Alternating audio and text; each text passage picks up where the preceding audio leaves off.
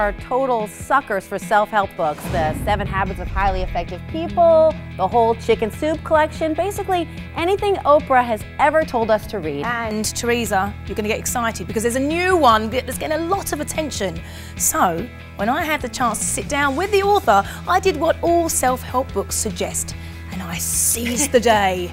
So can you. It's all about you. Ever feel so neurotic it's like you're channeling Woody Allen? I'm so depressed. Maybe if I took two more aspirin, it would help.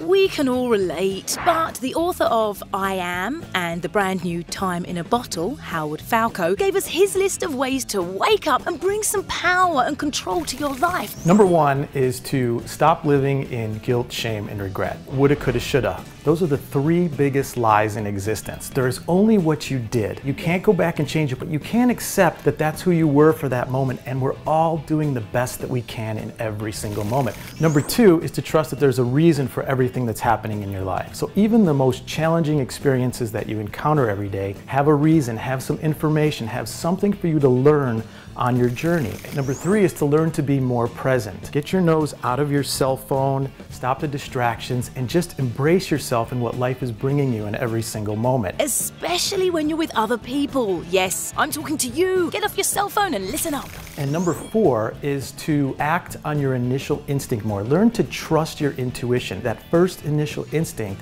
is extremely powerful as it relates to what you want. And if you can learn to act on it in much less of a fearful manner, things can go much faster for you. My intuition says listen to Howard. Life doesn't happen to you, it happens for you. It's your life, it's all about you.